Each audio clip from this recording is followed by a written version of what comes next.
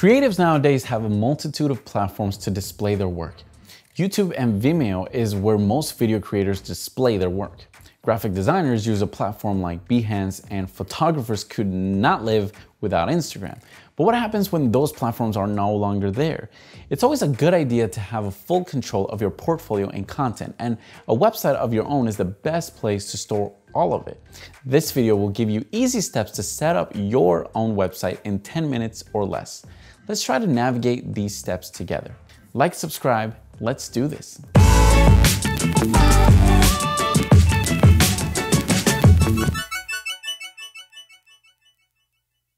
In this video, I'll use WordPress as a platform to build a basic website.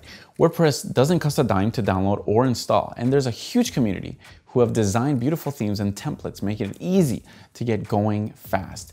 You'll never run out of uniqueness. WordPress can be expanded with free plugins to handle just about any site you can imagine, from gorgeous business pages to social networking sites. With plugins, you'll be able to add contact forms, submission forms, uh, subscriptions, image galleries, and so on for your website. The process is very simple. The last thing I'd like to note is that this process can be applied to websites both small and large, and it will make a website responsive to all devices. This website will look great on every mobile device, smartphone, and tablet. No need to hire a web developer for that. Step one, choose your domain name and hosting. To get a new website online, you're going to need two things. A domain name, which is a, a web address like yourwebsite.com, and hosting, which is a service that connects your website to the internet. The WordPress platform itself is free, but a domain name and hosting will cost you around three to five dollars a month. However, it costs less than a cup of coffee, so it won't break the bank. Owning your own domain name looks a lot more professional than having your site on someone else's domain, like yourbusiness.myfreewebsite.com. And it's super affordable too. Plus, having your own hosting will also make sure your website loads quickly and won't go down for hours at a time. It's pretty important for anyone who visits your pages. So where do you get your domain name and hosting? I personally use GoDaddy for all my domain name purchases and hosting services. They have good customer service and they're one of the biggest companies in the world to do this. Bluehost is also a great company and they always have promotions for first-time buyers. Do your research and decide which company you want to partner with. Domain buying tip. If you're making a website for your business, your domain name should match your company name. Same thing applies if you're trying to make a website for yourself. Got your domain name and hosting? Great, let's continue. Step two, install WordPress. Almost every reliable and well-established hosting company has integrated one-click installation for WordPress, which makes getting going a snap. It's best to call your hosting company and ask them where to locate the one-click installation for WordPress. Once you've found it, follow their steps in order to install WordPress. These steps are usually typically the same. Log into your hosting account, go to your control panel, look for the WordPress or website icon, click the install now button and you will get access to your new WordPress website. Once you've successfully installed WordPress to your domain, we'll see a very basic yet clean website. The theme is basic. The next step will help you choose a website theme. Step three, find a theme you like.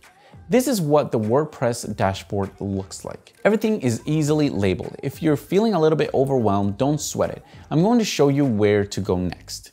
Once you're in the dashboard, you've got access to over 1,500 free themes. Just look along the sidebar for appearance, then click themes. If you want something more professional or elegant than what you find here, you can head over to themeforest.net where there's a huge library of themes to pick from at varying costs.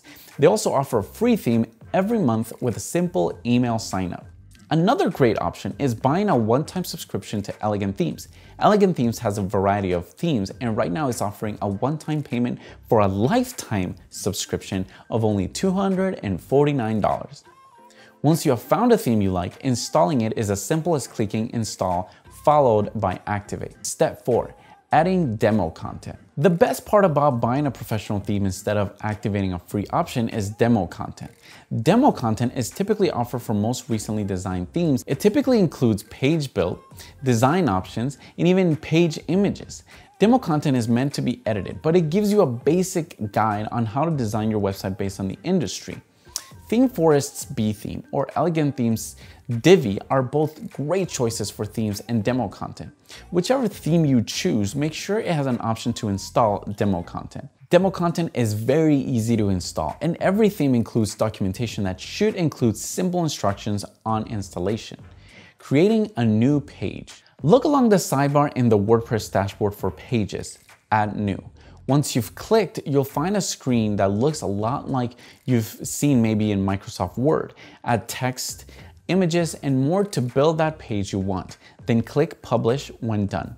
Adding pages to the menu. Click Appearance, menus in the sidebar of the WordPress dashboard. Find the page you created and add it to the list by clicking the checkbox next to it and then Add to Menu. Time for a quick break? I think so. Drink a cup of coffee, some water perhaps, your choice. Step 5. Customization and endless tweaks. Number 1. Changing your website title and tag. Go to Settings, General, and fill in the form. Number 2. Disabling comments for posts and pages. Go to Settings, Discussion, and untick Allow people to post comments on new articles. Number three, setting up a static front page. Some people contact me saying they're frustrated that their homepage looks like a blog post.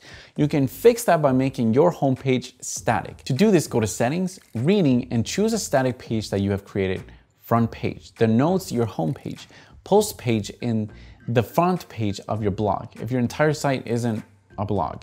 Number four, editing sidebar and widgets. Go to appearances, widgets in the dashboard, you'll be able to drag different boxes into the sidebar section of your website pages. Also, the footer or bottom section of the site is typically edited in this same section. Congratulations, you're ready to launch your website.